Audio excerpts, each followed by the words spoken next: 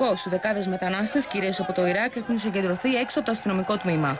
Φωνάζουν και ζητούν τα χαρτιά τους.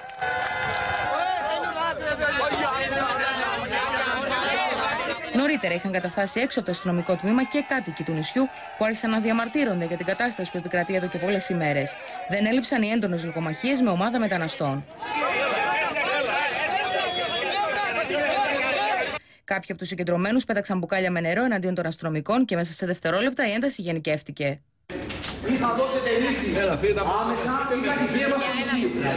Δεν υπάρχει ούτε ένα ούτε δύο. Τελειώσανε τα λόγια τα πολλά κύριε Περιφερειάρχα. Γιατί έφυγε το πλοίο; Οι κάτοικοι εισέβαλαν στη συνέχεια στο κτίριο του επαρχείου που βρισκόταν σε εξέλιξη έκτακτη σύσκεψη υπό τον Περιφερειάρχη Χατζημάρκο παρό των βουλευτών και τουριστικών φορέων του νησιού. Θα χυθεί αίμα, φώναξαν οι κάτοικοι μπαίνοντας στην αίθουσα εκφράζοντας αγανάκτηση.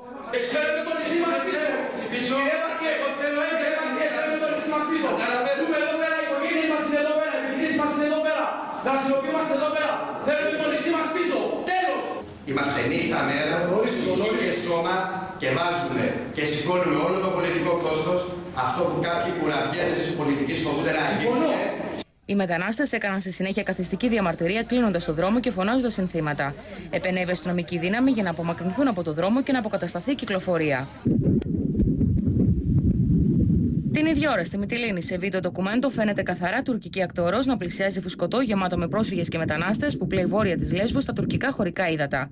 Η ακτεωρό κάνει ένα κύκλο γύρω από το δουλεμπορικό σκάφος και αποχωρεί. Από την ΚΟ απέπλευσε το πρωί το Ελευθέρος Βενιζέλος μεταφέροντας 1.300 πρόσφυγες από τη Συρία.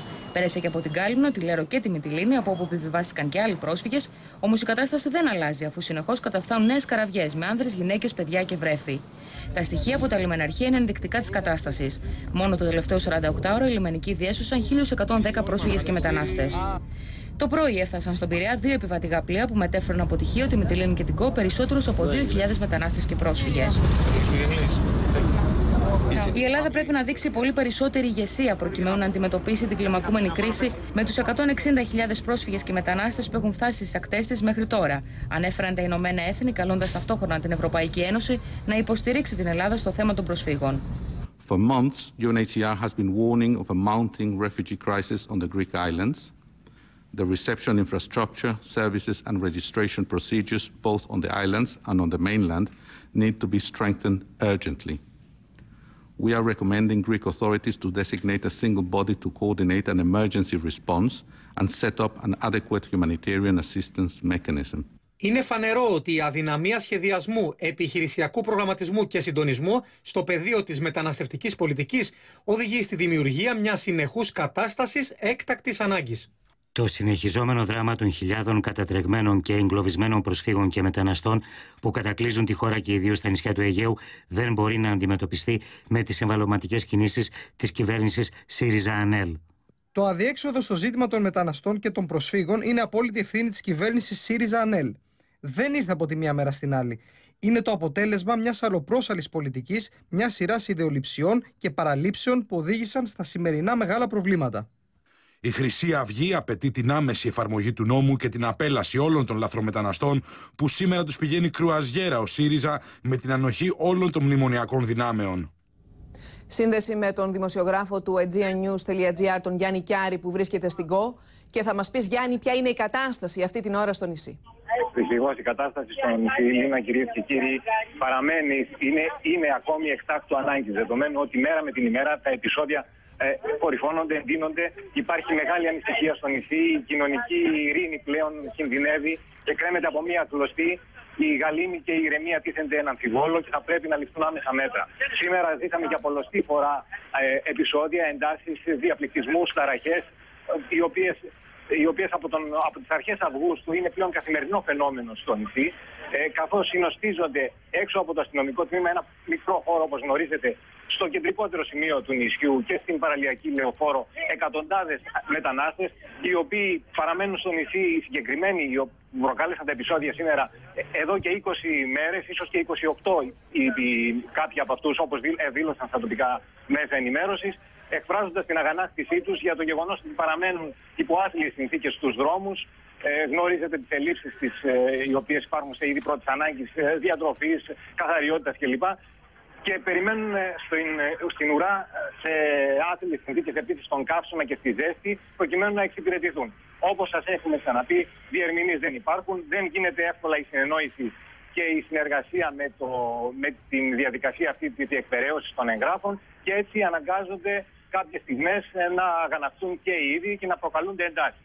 Βέβαια, οι εντάσεις αυτές είχαν ως αποκορύφωμα σήμερα να κλείσει η κυκλοφορία στην παραλιακή λεωφόρο, με συνέπεια να ενοχληθούν όχι μόνο οι διερχόμενοι οδηγοί, αλλά και πολίτες, επαγγελματίες, κάτοικοι του νησιού που ανησύχησαν για την ε, δημόσια τάξη και ασφάλεια και επενέβησαν και οι ίδιοι να βοηθήσουν την αστυνομία, μιας και όπως δηλώνουν οι ίδιοι αστυνομικοί νιώθουν πλέον εγκλωβισμένοι.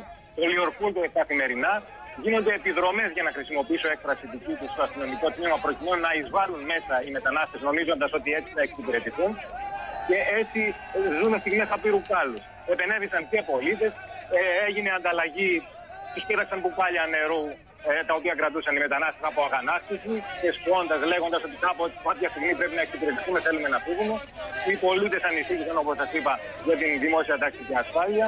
Ο Δήμαρχος απευθύνει δραματική έκκληση προς την κυβέρνηση να ενισχυθεί και πάλι το νησί με δυνάμεις, με ειδικές δυνάμεις της αστυνομίας, λέγοντας ότι αυτά τα επεισόδια τα οποία ζήσαμε σήμερα με την μορφή τα οποία είδατε και στι εικόνες ε, και την ένταση, ε, ε, θα είναι μόνο η αρχή και θα έχουμε συνέχεια. Δηλαδή μια δραματική κατάσταση που δεν φαίνεται να έχει τέλος λίγα. Παρά το γεγονός ότι φεύγουν τόσοι καθημερινά με τα πλοία και το Ελευθέριος Βενιζέλος που, που απέπλεψε με ένα αρκετά μεγάλο αριθμό μεταναστών. Παρόλα αυτά, καθημερινά κατακλείζουν κατά εκατοντάδες το νησί ε, νέοι μετανάστες. Μιας και γνωρίζετε ότι είναι χιλιάδες απέναντι στα τουρκικά παράλια. Ε, και... Εκατοντάδες χιλιάδες που περιμένουν να περάσουν και το πρόβλημα ανακυκλώνεται διαρκώς. Και, και Γιάννη, είναι η ίδια έκρηθμη κατάσταση αυτή που μας περιγράφει στην ΚΟΣ. Ευχαριστούμε πολύ. Εμείς ερχόμαστε στην Αθήνα, κυρίες και κύριοι, και πάμε να συνδεθούμε με τον Ελαιώνα και τον uh, Γιάννη Σωτηρόπουλο. Το προσωρινό κέντρο κράτησης των μεταναστών, Γιάννη, άνοιξε τις πύλες του σήμερα, τις πόρτες για κάμερες και δημοσιογράφους. Και αυτή τη στιγμή βρίσκεται μέσα κυβερνητικό κλιμάκιο.